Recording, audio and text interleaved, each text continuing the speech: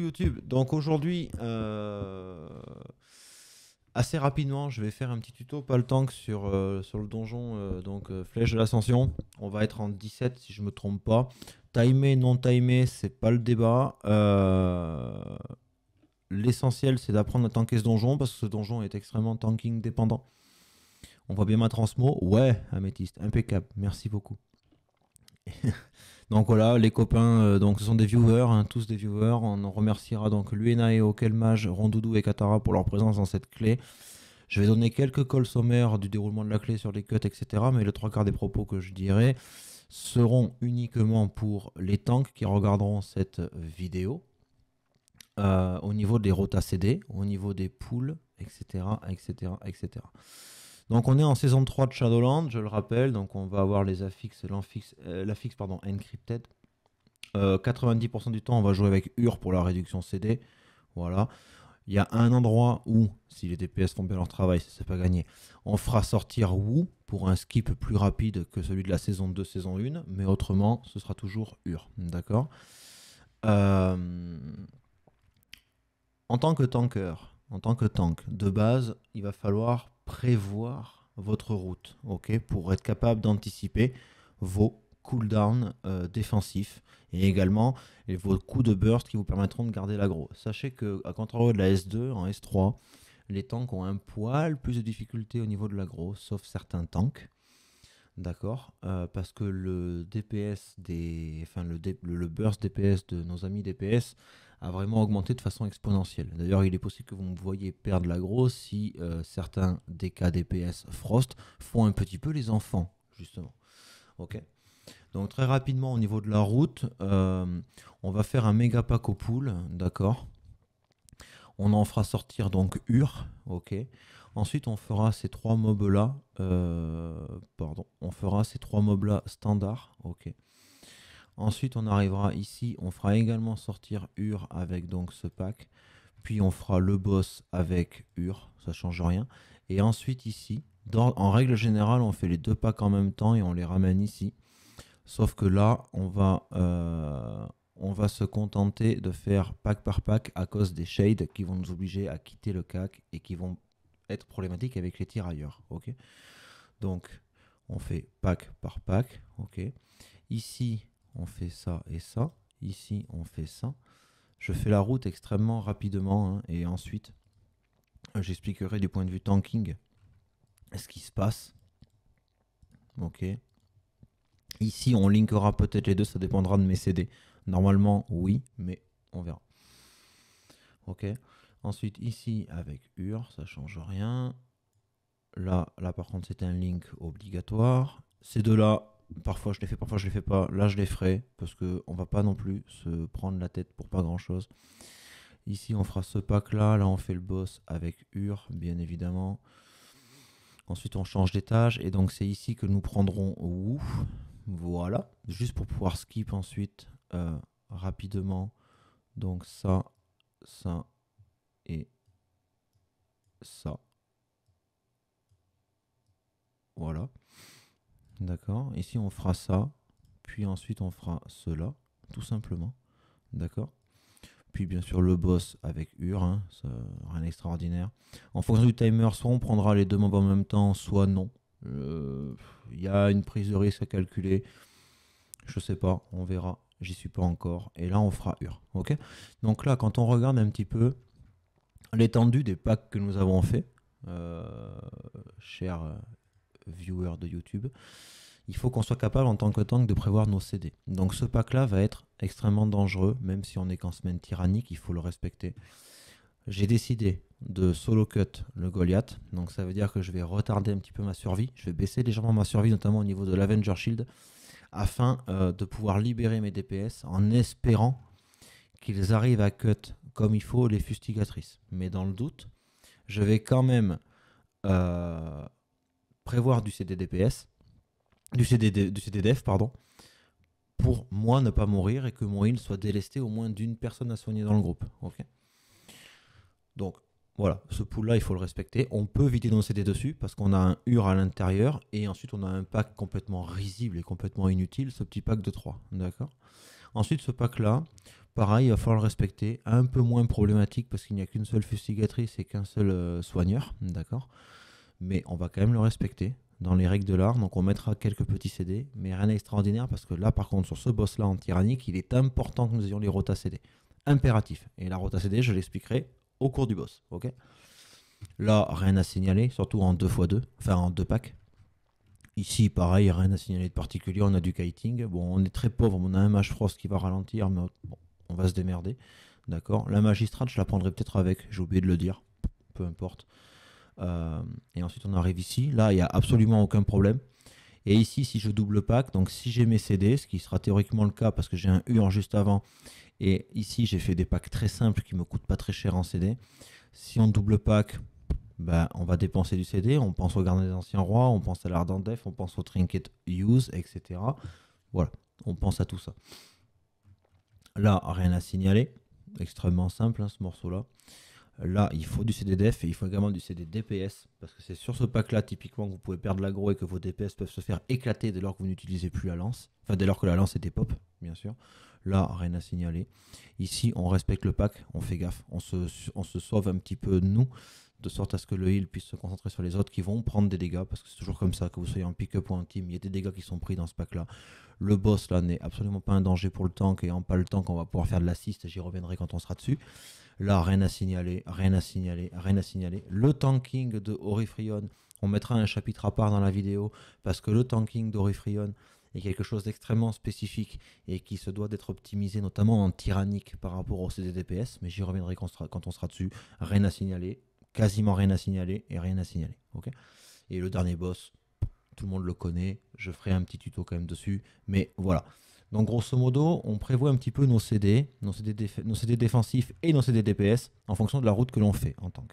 Ensuite, bon, pour ce qui est du tank, plus spécifiquement l'arbre de talent, c'est une opti survie qui est maintenant en fin de compte la même chose que l'opti DPS vu qu'on a le double lège à présent. Nous sommes, nous sommes le 3 avril pour ceux qui se poseraient la question sur YouTube. Donc Opti survie via le bouclier sacré, Opti grosse survie via la résistance finale que je pourrais enlever si je le souhaitais, j'en ai pas besoin, mais juste encore une fois pour aider un peu plus mon heal, je reste en bubule taunt, la fameuse bubule taunt, On a une assist heal, je prends une Opti assist heal ici via la main du protecteur, compte tenu du fait que nous avons déjà un mage frost, auquel mage, que je remercie encore une fois pour sa clé, c'est lui le propriétaire de la clé, euh, qui va donc permettre ralentir les mobs. Donc la terre consacrée n'a pas de valeur à proprement parler avec en présence d'un mage givre. En tout cas, pas dans cette clé. D'accord? Bon, après, esprit inflexible, le blind qui peut être très utile pour faire des cuts de masse, etc. Le dessin divin, ça c'est parfaitement standard. Ok? Au niveau des stats, en pas le qu'on est sur du hat mastery. D'ailleurs, j'ai énormément de hat. Ah, mais voilà, oui, d'accord, j'en gagne un petit peu à droite à gauche. On est sur du hat maîtrise. Donc, j'arrive à 52% de blocage qui vont donc se convertir en, euh, je vous montre via le 2P, parce que j'ai 2P, j'ai pas 4P, mais j'ai 2P, ok Ils vont se convertir en 64% de blocage, d'accord Ici, pour les propal tanks, si vous voulez regarder mon blocage, je vérifie sur le stream que cela se voit bien. Ouais, vous l'avez ici. Ok. Donc ça va se transformer en ça. Voilà. Ça, c'est le, le build survie du pal tank qui est comme ça. Euh, Trinket, je joue encore en double use. Je réfléchis à passer sur le codex de la première technique, mais le double use est quand même extrêmement confort, notamment en blocage. Voilà. Donc maintenant, on va y aller. On va balancer un appel. Je suis sur Discord avec eux, mes copains. Donc je ne, on est sur Twitch. En parallèle de cela, la vidéo YouTube viendra d'une extrapolation d'une VOD de Twitch. Je ne lirai pas le chat. Je leur ferai des calls sommaire et on va parler uniquement tanking dans cette vidéo. Allez, c'est parti. Tout le monde était prêt. Voici un pool auquel tasse c'est ta clé.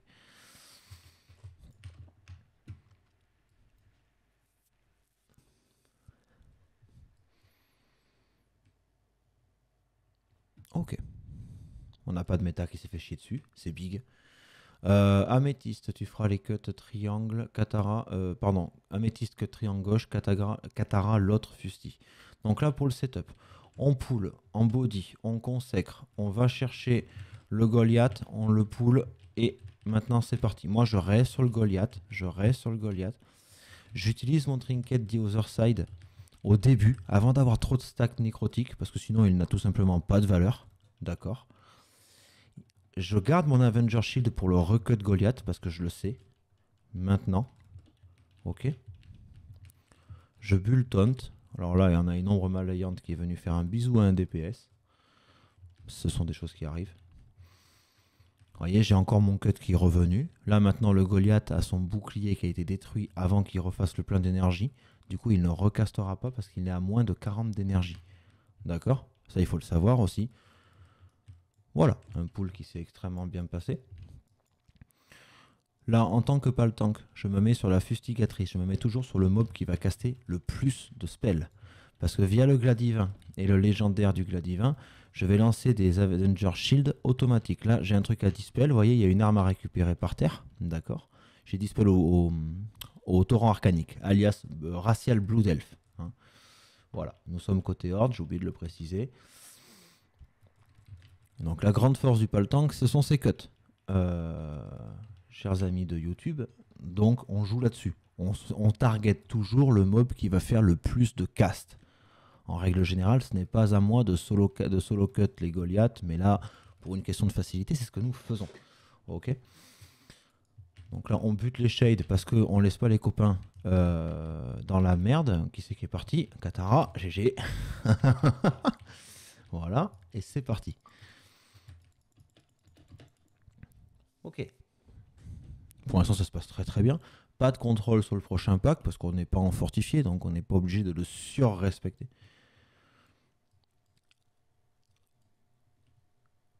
Ok, donc Katara, premier cut Fusti. Et euh, je solo cut Goliath, Améthyste, deuxième cut Fusti. Je m'occuperai du soigneur également. Donc au niveau du pool, ici, les copains, on cible le Goliath. Et on lance son Avenger Shield dessus. J'ai pas le cut, ça n'a pas fonctionné, désolé. Il était target, mais il n'a pas voulu partir. Très bien. Là, je Blue Elf, euh, je Blind, pardon, parce qu'il y avait beaucoup de castes qui passaient en même temps, y compris la doctrine. Il faut savoir que la doctrine des avoués du soigneur, une fois que vous l'interrompez, il ne la recaste pas tout de suite. Du coup, on est bien. Niveau rota CD, j'ai pas mis grand chose parce que j'avais mon Gladivin qui tournait. D'accord donc rien d'extraordinaire. Là j'ai un cut à faire sur le point rebelle, c'est fait. Je tank toujours les mobs en étant sur le côté. Je ne me tourne pas vers les cacs à cause du balayage de l'avant-garde. Ok. Là j'ai beaucoup de nécro. J'ai une pote Kyrian de dispo. Est-ce que je stresse? La réponse est non, parce qu'on a le Goliath qui passe en recharge. Je garde mon Gladivin. Je ne réutilise surtout pas mon Gladivin parce que le boss derrière, lui, il va falloir le respecter. D'accord On finit cette shade rapidement. Rapide, Katara, on n'essaie pas de pas trop la tanker. Ok. Ce boss maintenant, boss extrêmement compliqué en tank, les amis. Donc comment ça se mène? On poule le boss, on laisse le piaf choisir la direction. Et une fois que le piaf a choisi la direction, eh ben on met le boss dessus. On demande aux copains de faire gaffe aux orbes. C'est la seule et unique priorité. Je suis sous ardent def. Vous voyez, je suis sous ardent def. Je reprends Ur parce que sinon, euh, voilà. Je sors de la zone. Maintenant, je vais repaquer. Alors, du coup, je suis obligé de passer dans les boules, mais peu importe.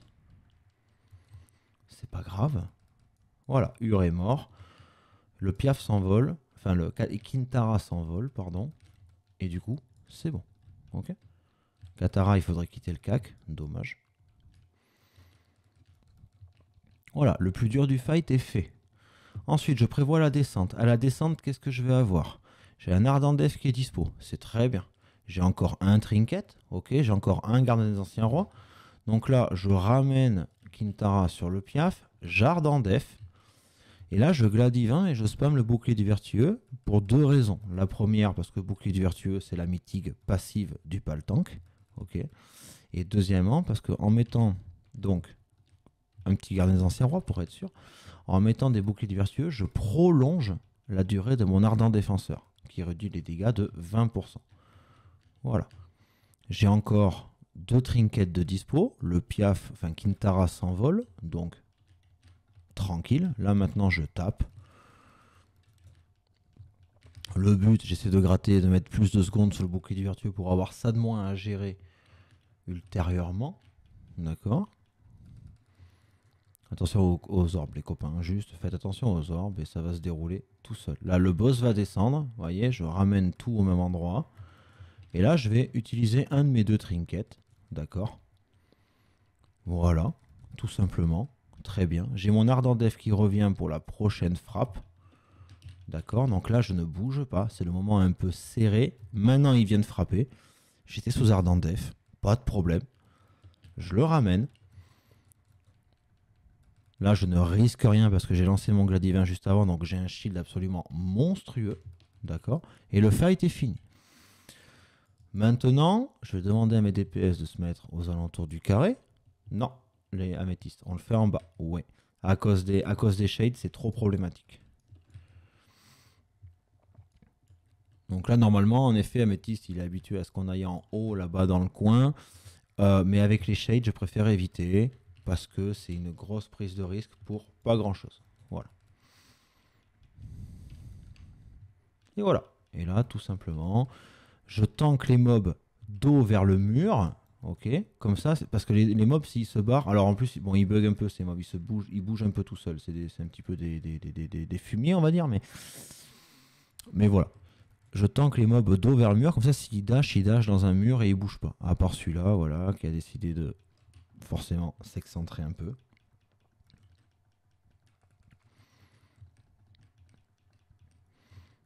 On fait attention à la shade, on la stun, parce que du coup les copains sont très souvent au corps à corps, forcément. Ok, le pack étant sur le point de se terminer, on commence à se diriger vers la suite, juste là. Là, eux par contre, je les pull back, donc hop, comme ça, je me cache, histoire que tout soit bien packé. On verra après pour les shades, comme ça je vais pouvoir vous montrer également. Voilà, et là vous voyez, là tel que je suis placé là, et eh bien, le tirailleur il est coincé, il ne peut pas bouger si vous voulez. D'accord? Par contre, cela sous-entend quoi? Cela sous-entend que euh, bah, il va falloir que les TPS fassent gaffe parce que les shades vont rester coincés ici aussi, en fin de compte. En tout cas, au début. Donc là, vous l'avez pas vu, mais j'ai utilisé un trinket de, The Nine. Donc The Nine, c'est l'ancien raid, d'accord Parce que ce trinket-là est insensible au nécrotique, mais ça, éventuellement, si j'y pense, j'en parlerai juste à la fin de la clé. C'est pour moi le meilleur trinket euh, des semaines nécrotiques. Donc là, on est paladin. Qu'est-ce qu'on fait? On fait ça. On fait pop les mobs. On espère, parce que j'ai oublié de le dire, qu'il n'y ait pas de spell dégâts ou de spell heal qui partent. On cancel la bulle et maintenant on setup de l'agro. Pourquoi bulle juste avant? C'est parce qu'en fin de compte, si les griffes furtives vous tapent avant que vous ne les ayez tapées, elle vous stun. J'aime autant vous dire que c'est pas très très très agréable. Donc là on va kiter parce qu'à cause de la longanimité je ne pourrai pas déstack pour l'instant. Ça y est, j'ai déstacké, je peux y retourner. J'y retourne toujours avec un bouclier du vengeur euh, disponible, histoire d'avoir une mitigation présente. Je trinket d'os, comme ça je face un peu. Et là, je prévois mon prochain pool. Je sais que mon prochain pool, il est standard, d'accord? Donc là, il faut que je kite. Donc en kitant, j'en profite pour aller chercher la magistrate là-bas, que je taunt et que je stun et qu'il fallait pas grip. Tant pis. Alors là, c'est que là, je pense qu'Améthyst, il a voulu trop bien faire, le, euh, chat.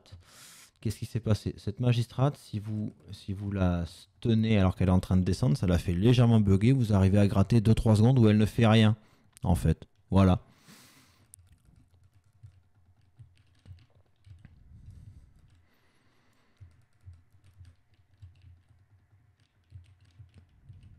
Alors ensuite, sur le prochain pool avec une magistrate à l'intérieur, on va engueuler les DPS et les heals qui n'étaient pas au corps à corps, qui du coup complexifient le tanking de ce mob là. Mais ça, je sais qu'ils le savent, c'est juste qu'ils ont envie de me chier dessus parce qu'on est sur YouTube. Voilà.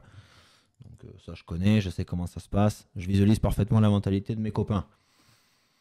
Très bien. Donc là, il y a plusieurs facteurs à prendre en compte. On sait qu'on a une griffe furtive à l'intérieur. Alors attention, voilà, il faut impérativement qu'on la frappe avant qu'elle nous frappe. Tous au cac. Ok, tasse, please. Je vais la stun avant qu'elle se barre.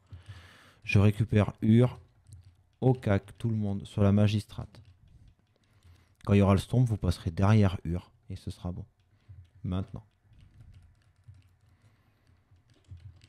Parfait. Pourquoi rester au cac de la magistrate? En fait, la magistrate ne fait pas son sort euh, Darkseeker, le chercheur sombre qu'on appelle. Elle ne le fait pas euh, tant qu'on est tous à son cac.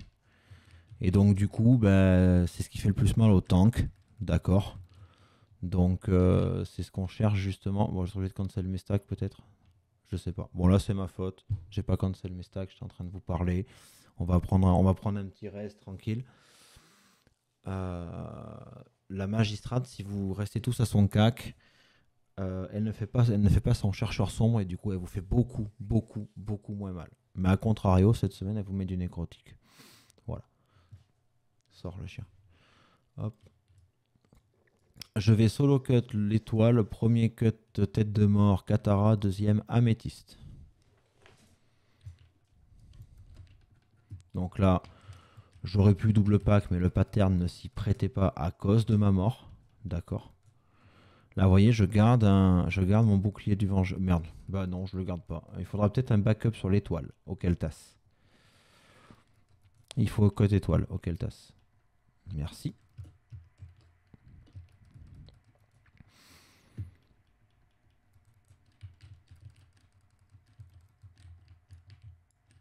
Là, je vais ramener gentiment sur la magistrate. Hein. Vous voyez les dégâts qu'elle me fait, rien qu'avec son chercheur sombre. C'est quand même pas négligeable. Ok. Cette ombre-là, je la stun. Comme ça, elle va se prendre un ou deux petits cleaves histoire de marquer le coup. Voilà. Et maintenant, on va faire ce petit pack-là. Rien à signaler sur ce pack, si ce n'est que euh, ça fait, il fait quand même assez mal. En tyrannique, beaucoup moins. Là, si tout, si tout le monde vient au cac, on est très très bien. Elle va dash pas très loin. Voilà, c'est parfait. Bon, en plus, elle se fait balader droite à gauche. Donc là, attention, un paladin avec le gladivin. Euh, avec le gladivin, le gros souci, c'est que vous faites un cut de masse et du coup, vous montez très très haut en nécrotique. Alors que si vous les laissez caster, bah, vous pouvez vous soigner comme un sauvage. Euh, parce que vous avez beaucoup moins de nécrotique. Les castes ne mettent pas de nécrotique. ok?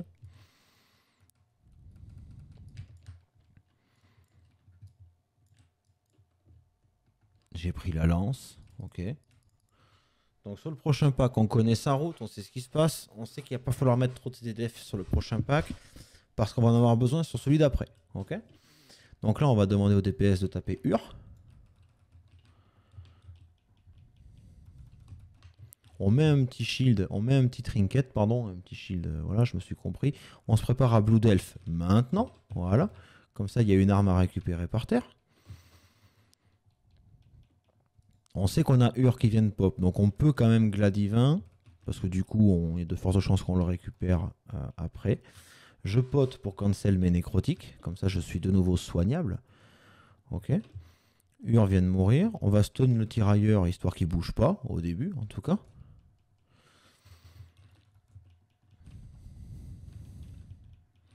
Vous voyez, je le mets orienté vers le vide, il ne pourra pas jump, ou en tout cas s'il jump, il jump pas loin. Et là, le pattern est plus que correct pour pool, donc ça va partir sur un pool. Maintenant, c'est un pool. Et là, il faut que les DPS tapent comme jamais, tout simplement. Alors j'aurais pu retarder un peu plus mon ardent défenseur, ok J'aurais pu le retarder. Je l'ai mis parce que j'ai gardé un ancien roi qui peut tourner derrière. D'ailleurs, il va partir maintenant. Mon ardent def est fini, donc mon gardien des anciens rois, c'est à son tour d'entrer en, jeu, entre guillemets. J'ai encore une bubule pour cancel aura, pour, enfin pour cancel les nécrotiques. Donc avec une bulle cancel aura ou une bulle taunt, un petit peu comme on veut.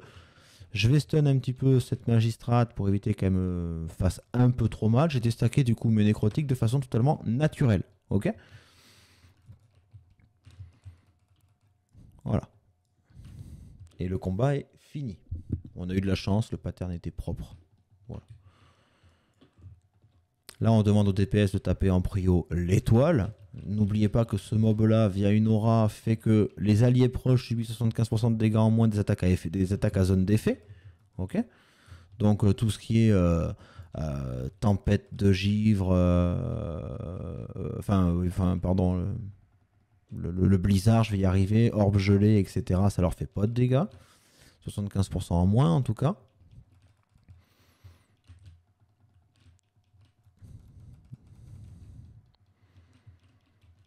coup, on tape en mono-cible.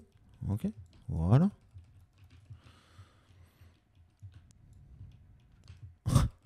Un bêtise qui me fait me promener à droite à gauche.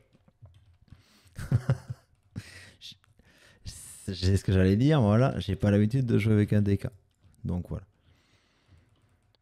Qui plus est, un DK Frost. Bien. Faites la, faites l'âme, faites l'ombre, faites l'ombre, faites l'ombre. On perd plus de temps à ne pas la faire pour qu'on prenne le piaf là. On est 4 en combat, donc euh, voilà. Ensuite, on va demander un petit chip sur l'inquisitrice de gauche, sur le pack là, qui arrive. Donc, vous voyez, en termes de CD, je sais que j'ai un Ardendev, j'ai pas de dans ses rois, j'ai un Trinket. Bon, j'ai un Gladivin. On va demander un petit chip sur l'étoile. Okeltas, s'il te plaît. Merci. Et là, on est parti. On poule, on laisse back. Très bien, on a un DK, c'est vrai. On a un DK.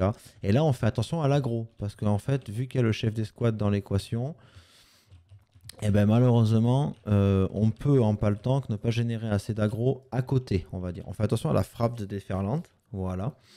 C'est ma faute, j'aurais dû l'orienter vers l'extérieur. Hein. j'aurais dû l'orienter tel que je suis actuellement, vous voyez, là où je suis. On reste sur le champion pour que de sa doctrine. Voilà, parfait. La magistrate, bon, si on a un grip, elle revient, sinon on ira, c'est pas gênant. Très bien, c'est l'inquisitrice qui est venue. Why not? C'est un peu risqué, mais pourquoi pas. Attention au shade. Attention les copains au shade, s'il vous plaît.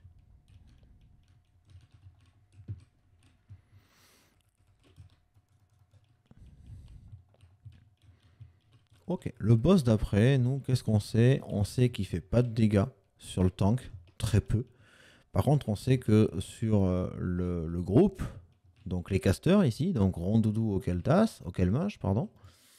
Euh, il va leur mettre des saignements, ça va être un vrai bazar, etc. etc. Donc on a fait, enfin j'ai oublié de le dire, mais j'ai fait exprès d'essayer de garder la bénédiction de protection qui peut enlever un saignement. Je suis en build assist heal, donc je peux remonter les gens. Il y a de très fortes chances que ça se passe bien.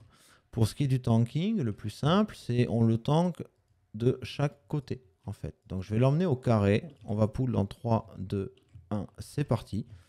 Je l'emmène aux alentours du carré. Alors, c'est pas du tout une science exacte. Hein. Euh, c'est à peu de choses près. Vous allez voir comment ça se passe pour faciliter la vie de vos casters et de vos corps à corps. Donc là, il y a une orbe qui vient de pop. Merci pour la BL, nice.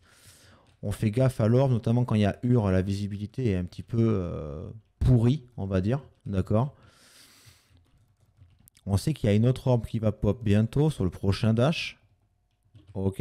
Et maintenant, on trace. On traverse en fait. Vous voyez, on va ailleurs. D'accord? On s'éloigne à l'opposé en fait. Et là, regardez. Là, si mes casters prennent le temps de se déplacer là où je suis, regardez. Regardez la visibilité qu'on a pour éviter les orbes. C'est quand même... Enfin, ça change totalement la difficulté du combat. Vous voyez? Bon, apparemment, les DK aiment bien s'envoyer en l'air. Voilà. Hop, Peut-être que si, peut-être que si ça éclate la carapace en un tic, c'est possible que non. Peut-être. Hop, là c'est bon, on a évité nos boules. Hop, c'est bon. Le dash est revenu, je l'amène maintenant au carré. Et là, regardez, là, si les casters se placent bien, donc là, il va y avoir un beam. Il va y avoir un beam, donc là, ils se mettent pas devant, bien évidemment. Et là, maintenant, ils peuvent venir devant. Et regardez un peu cette visibilité qu'ils ont. Regardez un petit peu le temps qu'ils ont. On a presque deux secondes pour voir l'orbe arriver. C'est même clairement de trop en réalité. Hein. Euh, on, pourrait le tanker beaucoup plus près pour optimiser un petit peu les temps de, trajet et tout ça. On pourrait le tanker un peu plus près des autres orbes. Mais on va dire que là, c'est pour donner un peu de place et pour bien illustrer mes propos.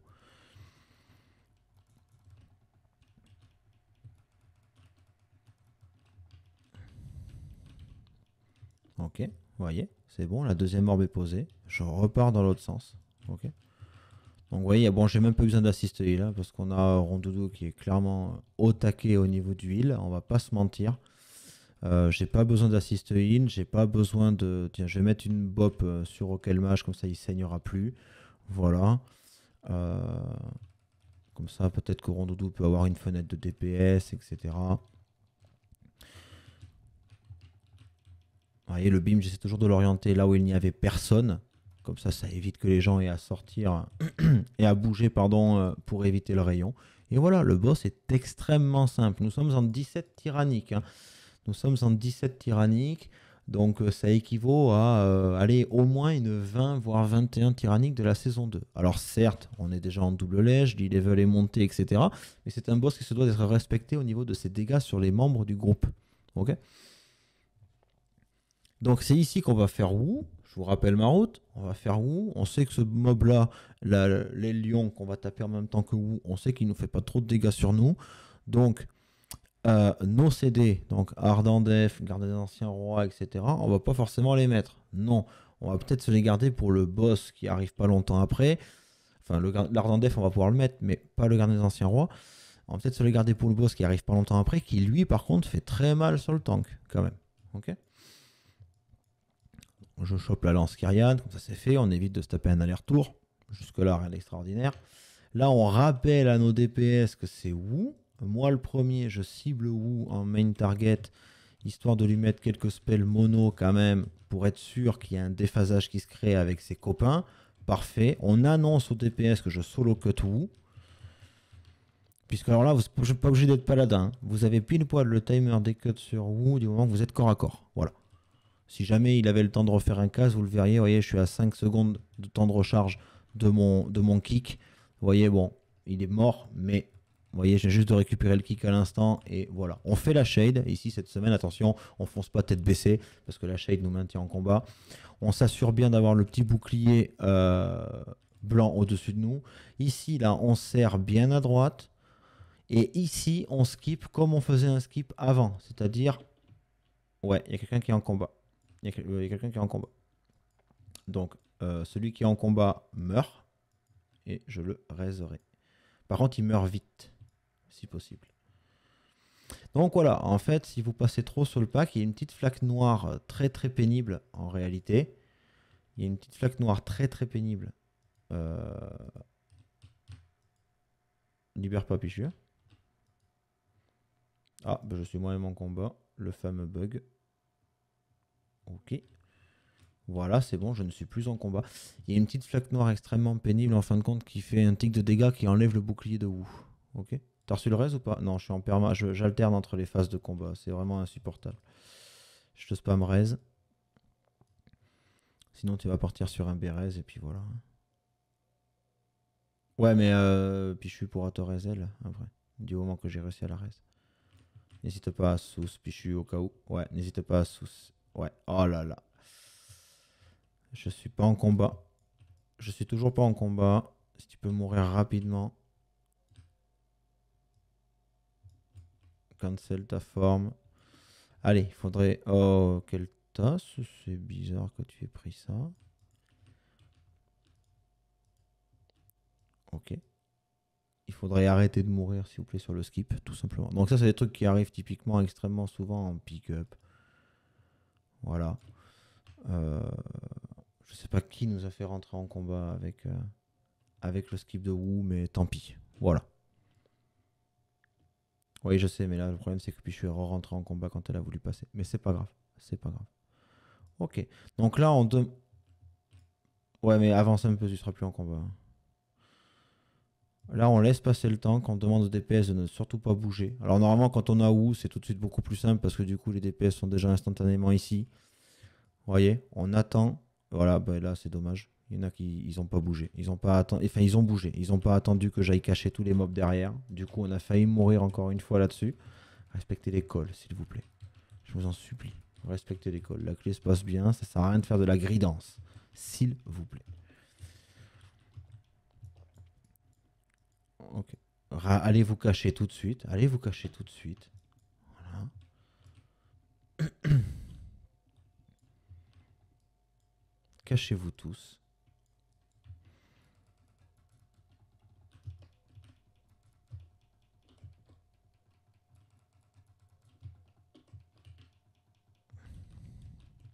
Ok, donc ensuite je place les signes et là c'est le boss entre guillemets le plus technique au niveau placement de tank. Tirez-vous, bref, vous n'amusez pas à tanker les, les shades.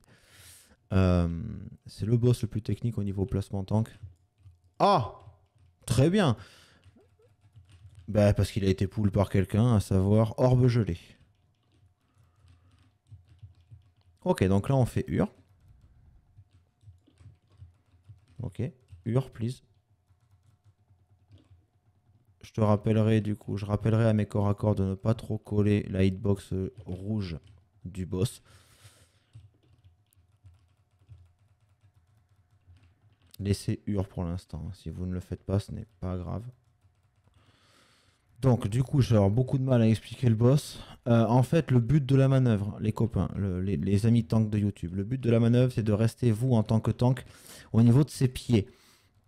De sorte à ce qu'il puisse vous frapper avec le piétinement chargé, ce que l'on vient de voir à l'instant. D'accord? Et qu'il puisse ainsi transi immédiatement. Vous voyez comment est-ce qu'il a transi rapidement? Vous voyez comment il a transi rapidement? Et ça, c'est bien pour les CD DPS. Parce que plutôt, bah forcément, plutôt les CD DPS partent, plutôt ils sont... Euh, Enfin, plus vite ils reviennent, quoi, en toute logique. Vous voyez ce que je veux dire? Donc là, on n'est pas le tank. On sait qu'on a du backup. En ressources, on sait qu'on a du backup. Si jamais on prend trop cher, on sait qu'on a une bubule, etc. Là, je vais essayer de le tanker avec les 10 stacks sur moi. Je sais pas du tout ce que ça va donner. Si, parce que j'ai un trinket, du coup ça va aller. Mais en gros, vous allez bien voir. Voyez, vous voyez où je suis? Je reste bien dans la hitbox. Vous le voyez? Vous voyez où je suis? Je suis vraiment pas loin de ses pieds. Et là, il va me frapper. Maintenant, voilà. Tout le monde derrière. Puis on se casse, on aère un peu le fight, ok Voilà. Et je me remets dans la hitbox. Vous voyez? Vous voyez où je suis? Et par contre, si les corps à corps sont trop près de la hitbox, eux, derrière le boss, ils vont se prendre aussi le pétitement chargé et le heal peut potentiellement les insulter. Voilà.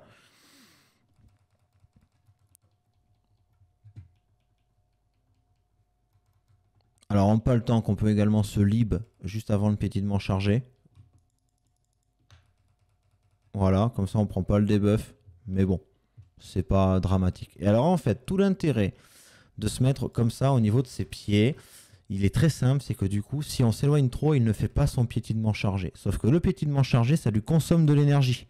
Donc plus il consomme d'énergie, plus il passe vite en recharge. Et plus il passe vite en recharge, plus vite euh, il, passe en phase de burst DPS.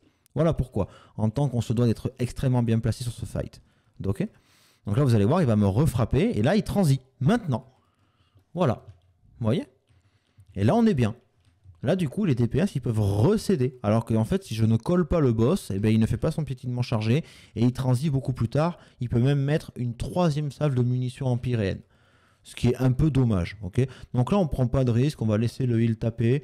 Du coup, on se met en bulle. Ok? Voilà. Et puis c'est tout, en fait. Et voilà. Voilà comment ce boss est tanké. Donc je le rappelle parce que le pool ne s'est pas déroulé comme je le souhaitais. Euh, en tank, vous vous placez dans le cercle rouge qu'il y a quand vous le mettez en target. D'accord? Vous vous mettez grosso modo très proche de ses pieds. Vous rappelez à vos DPS de ne pas trop le coller. D'accord? Parce que s'ils le collent trop, ils vont aussi se prendre le piétinement. Ok? Et pour ce qui est de Ur au début, vous le gardez dans le dos tant pis, vous faites une rota CD, mais ne demandez pas à vos DPS d'aller le taper, c'est trop chiant, c'est trop dangereux. Vu la taille du boss, c'est beaucoup trop dangereux. On le garde dans le dos et on le fait petit à petit avec le DPS du tank, quelques cleaves, etc. etc. Donc là, on a le temps, 9 minutes, on prend un par un, et là, en tank, extrêmement simple celui-là. Là, on, on dit au heal, ne me heal pas, go DPS. Parce qu'en tank, on n'a qu'un seul truc qui nous fait mal, c'est le diminuendo. On rappelle à nos corps à corps de ne pas aller devant le mob, devant l'Akesis, ou l'Akesis, je ne sais pas. On rappelle donc à nos DPS de ne pas aller devant, et à chaque fois qu'il fait un diminuendo, on s'écarte et on revient devant, en fait. Et vous voyez, la vie ne bouge pas. Alors si on monte en stack trop, ça va bouger, bien sûr, mais là, pour l'instant, ça va. Hein, euh, c'est assez tranquille. Et là, c'est le moment où le heal, il n'a pas aucun heal à envoyer. Il n'y a aucun monde où on est censé recevoir un heal. Voilà quel que soit le healer d'ailleurs. Hein.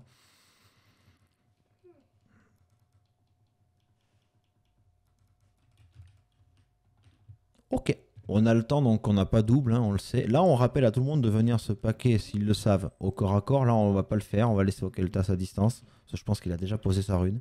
Ah non il est au cac, c'est bon. La rune elle est là. Oh, enfin la lance elle est là, nous on se place, on sait que ça va partir comme ça, comme ça, comme ça et comme ça.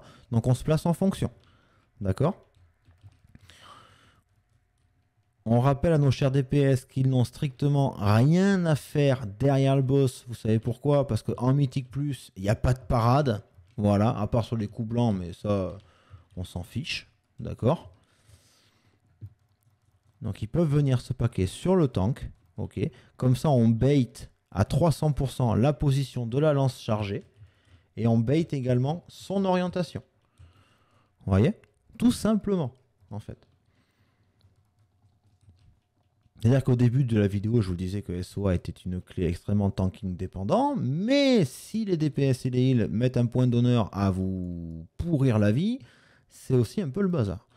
Donc là, 3, 2, 1, c'est parti. Pas de BL, hein, surtout pas de BL. On, est en tyrannique, je le rappelle. En fortifié, oui, on BL ce mob, bien sûr. En fortifié, bien évidemment qu'on le BL. Sort de là le chien. Voilà. Hop. Je le fais cracher dans une zone où on n'ira plus. Il va cracher théoriquement. Voilà. Et maintenant, je me place en zone safe. Ici. Et là, il va y avoir une nouvelle zone de placer. Ok. Une nouvelle lance, pardon. Je le fais cracher vers un endroit où on n'ira pas. Et je me place en zone safe. Ici. Un petit peu plus à gauche. Parfait. Vous voyez ma consécration, elle était bel et bien en plein dedans. Et voilà, c'est tout. On laisse respirer un petit peu le heal. On laisse respirer un petit peu tout le monde. On rappelle le BL en P2, s'il vous plaît, s'il te plaît, auquel tasse. Et là, on tapera Europool. 3, 2, 1. Et c'est parti. Je pull au taunt into bouclier du vengeur. C'est toujours comme ça que ça se passe, le pull d'un pal tank en tout cas dans 98% des cas. On a le shield, on met le boss dans le shield. Nous, en tant que tank, on sort du shield.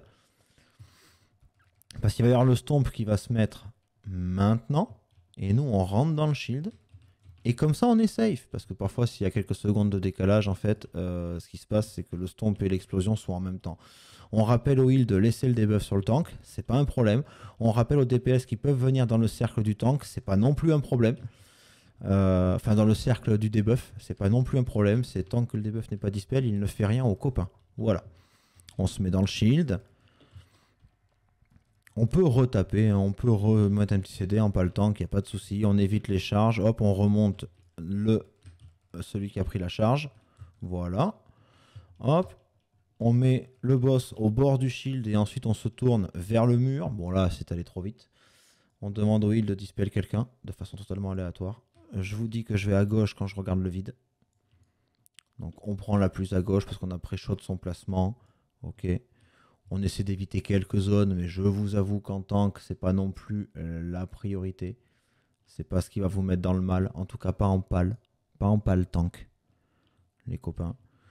Je regarde le boss, il vient de se déplacer, c'est très bien. Donc je monte dans la lance, je tire. Terminé. C'était limite, hein C'était limite. Là, on se met un petit peu en mode God mode parce que là, on est avec un prêtre sacré, donc il y a un mass dispel. Mais si jamais vous êtes avec un autre heal, il faut tenir compte du fait qu'il y aura pas mal de stacks sur les membres du groupe, donc il faut pas que le heal ait besoin de soigner le tank. Il faut pas que le heal ait besoin de soigner le tank au début de cette phase. Il faut que le heal concentre toute son énergie sur les quatre autres membres du groupe, lui compris. Du coup, on est dans le shield. Ok. On laisse le debuff sur le tank. Le tank a qu'à faire une petite rota CD. Après tout, il est là pour ça.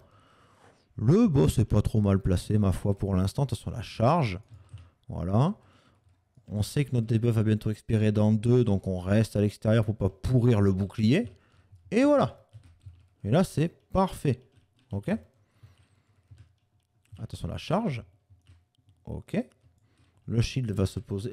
Ouais, c'est bon, j'ai rien dit. Le shield va se poser. On le met au bord du shield. On invite tous les DPS à se mettre devant, devant le boss. Comme ça, on a droit à un joli bait en plein direct sur YouTube, c'est parfait. Dommage, il a fait une détonation avant. C'est triste. Parfait. On bouge la charge maintenant. Voilà.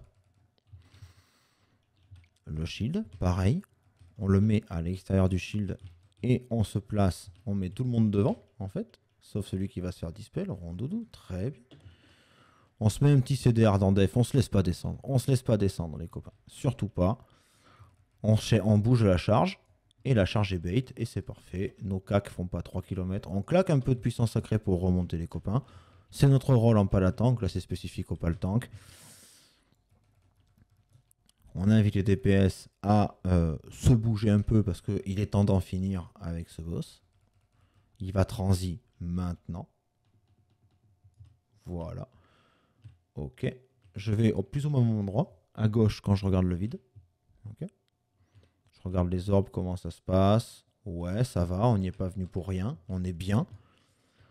Ok. Tout le monde a son orbe, j'attends que ça revienne. Je regarde le boss. Le boss va se déplacer maintenant. Il vient de se déplacer. Je tire. Si ça veut bien. What the fuck, ça voulait pas partir. Voilà, c'est la macro qui est partie. Super. Et voilà. Le combat est d'ores et déjà terminé. Le boss est mort, mais il ne le sait pas encore. Là, on demande à tout le monde de se mettre devant le boss, théoriquement, pour éviter que le machin parte. Voilà, à l'autre bout. C'est pas grave, j'avais qu'à le demander avant. Là, c'est pareil. On met tous un petit CDDF éventuellement. On peut mettre une sacrée sur le heal. C'est toujours bien. C'est toujours bien. La petite sacrée sur le heal, c'est toujours très bien vu et par le heal et par le reste du groupe parce que du coup, le heal a moins besoin de se focus sur lui. Attention, la charge. par contre, il aurait fallu dispel un poil plus tôt. C'est pas grave. On se remet tous devant le boss. Le boss va tourner soon. Et il est mort. Voilà. Voilà. Donc SOA, je le rappelle, c'est extrêmement tanking dépendant. Mais si la team ne joue pas un petit peu pour vous, ça peut devenir un enfer. Que vous soyez le meilleur tank du monde ou, ou, un peu moins bon, ça peut être un enfer total. Ok? Maintenant, juste, je reviens par rapport au, euh, fragment de l'égide d'Anil. J'avais promis d'essayer d'y penser, je viens d'y penser. Extrêmement simple. Le fragment de l'égide d'Anil, chaque dégât frontaux que vous allez prendre, donc tous les mobs devant vous, et à ce qui paraît, on ne donne pas son dos en tank. J'ai entendu parler de ça, moi, dans mes cours de tanking. Euh, chaque attaque frontale devant vous est réduite de X points de dégâts. En l'occurrence, vu que je l'ai qu'en 239, réduit de 6230 points de dégâts. Il faut savoir que L'avantage, c'est qu'avec le nécrotique, ce soin, parce qu'en fin de compte, ce n'est ni plus ni moins qu'un soin, n'est pas réduit par le nécrotique. C'est-à-dire que si un mob devant vous vous frappe pour 10 000 points de dégâts, eh bien en fin de compte, vous ne recevrez que euh, euh, 3770 points de dégâts dans la tête. Que vous soyez à 99 stacks de nécrotique ou à 0. Voilà. Merci à tous YouTube, j'espère que ça vous a plu. Si ça vous a plu, n'hésitez pas à laisser un petit commentaire et me, suggérer donc, éventuellement d'autres vidéos, voire même certains donjons que vous auriez des problèmes à tanker. Si vous avez des questions, pareil, posez-les dans les commentaires et j'y répondrai avec euh, le plus de précision possible. N'oubliez pas, on est sur Twitch également tous les lundis jusqu'au vendredi de 8h à 12h30 et de, de 13h30 à 18h, 18h30, ça dépend des fois. Et je vous fais à tous de gros bisous. Merci YouTube.